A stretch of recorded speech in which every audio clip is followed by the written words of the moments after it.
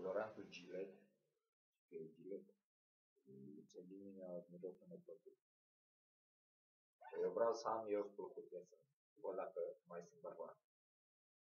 Ah, m-am afectat.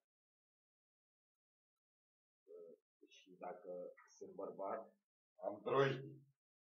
Eu uite cum a fierbt drojdie. Fierbe la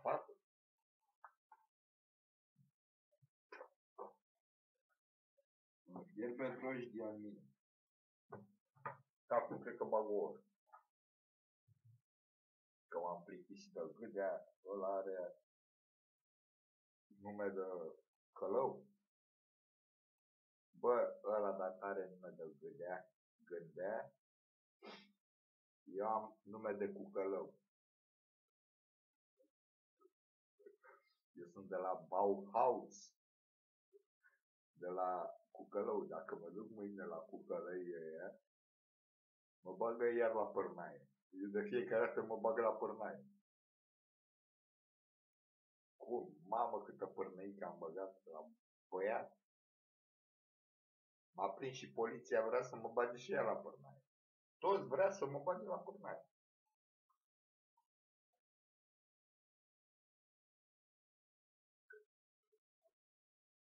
Și fosta mea soție vrea să mă bage la părnaie. Să te duci la pușcărie acolo unde ți locul. Păi, fată, veneai tu cu haleală la mine? Fata e cloșcă. S-a făcut cloșcă. Deodată când fata naște, fata fată, când fată fată, s-a făcut cloșcă. Și cloșca n-avea apă în casă. Avea o apă clocită. Când m-am dus la ea, bă, fata, bă, și-o după drum. Pula mea, tu nu-ți dai seama din Pantelimon până în Ferentari cât e? E mult. Eu trebuie să iau 102, 202, 232, să mai mergi și pe jos până la tine, mai gâfui. Mie sete, măcar dă și mie, că am văzut că ai masa plină. Cum am văzut ieri la seminar, unde nu m-a primit. Că trebuia să mă înscriu face ăia, nu știu ce, cursuri de comunicare. Se comunică pe un SMS. Te iubesc, te iubesc, la mulți ani. M-am dus și eu acolo, era o virgină, cred că aia era de vină că era virgină. Și n-a știut. Dar după aia m-am supărat. Am zis, băgă mea și pola în seminarul ăsta.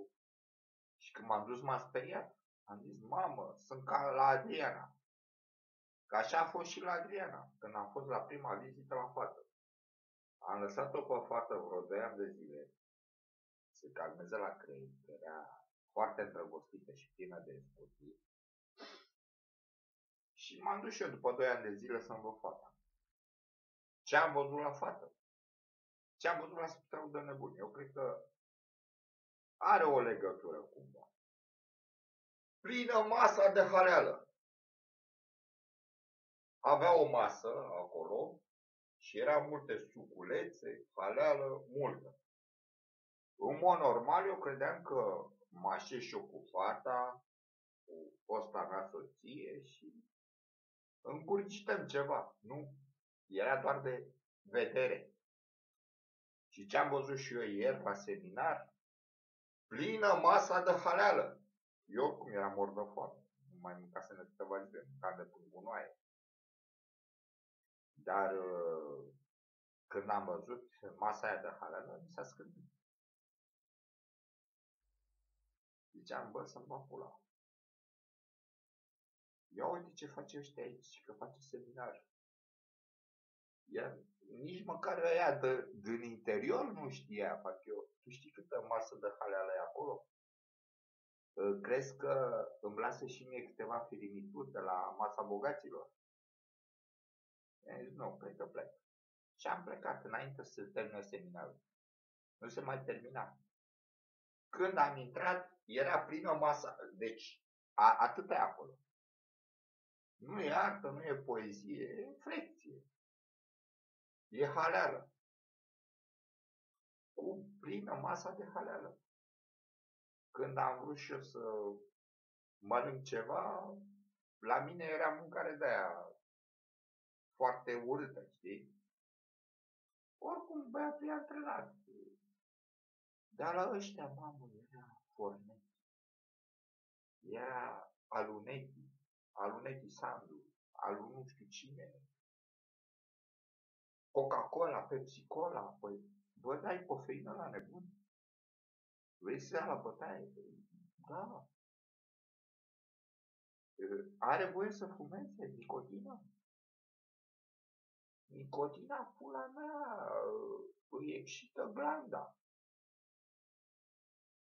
Are voie. Are voie să bea alcool. De ce are cearcările alea, mai? Sacoșile alea. Și ce e cu sacoșile alea?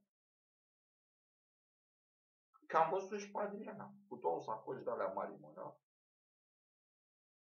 Se duce la o pulă grasă. Se-i pula lui ăla. Se-i gadă haleală. Pe vremea mea de aia a fost ea tristă. De asta a terminat și căsătoria. Noi luam doar un salam săsesc de la mic.